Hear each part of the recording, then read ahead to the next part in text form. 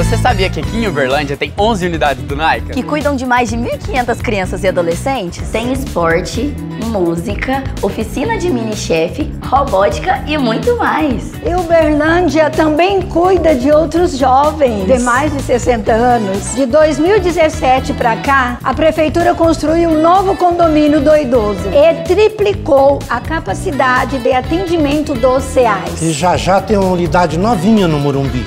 Essa receita não tem erro. Só de cursos profissionalizantes. Saltamos de 6 para 105, totalizando mais de 37 mil vagas oferecidas. É uma oportunidade show para quem quer aprender uma profissão. Uma cidade que cuida. É uma cidade que faz.